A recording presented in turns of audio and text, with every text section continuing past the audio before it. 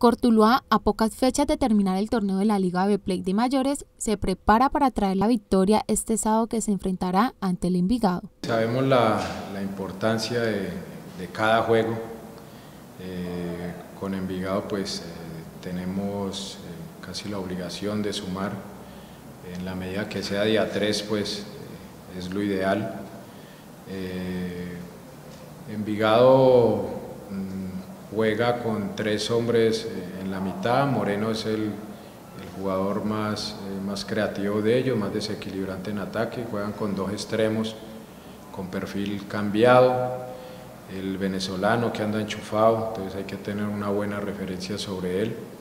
Y pensando en el tema de los extremos que son rápidos, son habilidosos, juegan con su perfil cambiado, pues estamos eh, mirando de qué forma se puede neutralizar eh, puntualmente ese, ese, patrón de juego que tienen ellos eh, cuando cogen hacia adentro. Y en el plan estratégico yo creo que eh, lo estamos haciendo bien, esperemos que se desarrolle muy bien el día del partido, pero aparte de eso sabemos que nos jugamos, en cada acción nos jugamos el partido. Después de la última derrota del equipo del Corazón del Valle, en la que jugó de local contra Unión Magdalena, los jugadores y el cuerpo técnico quedaron anímicamente afectados, pero con el objetivo de mejorar para generar un buen resultado.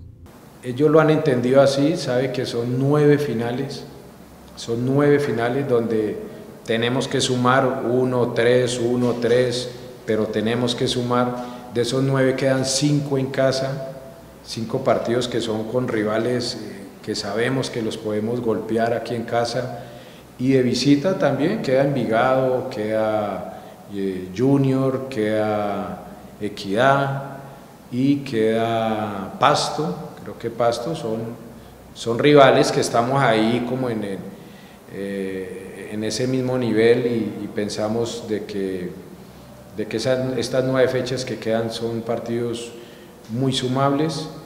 Entonces, bueno, la historia y el fútbol eh, lo tendrán que recompensar a uno en cualquier momento, todo no puede ser eh, pérdida.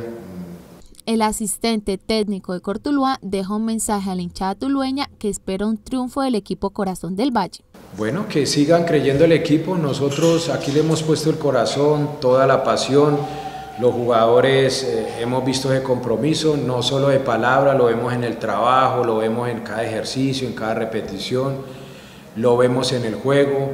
A veces uno dice, pero ¿por qué este error? ¿Por qué lo otro? Y hay que mirar también que relativamente este es un grupo joven y cuando esos grupos son jóvenes, mm, pues hay cosas que, que que uno tiene que madurar y, hay golpes que lo hacen madurar a uno eh, y hay partidos que se le van producto de esa misma inmadurez. Eh, de no, ahora el tema no es jugar mejor, ahora el tema es competir mejor,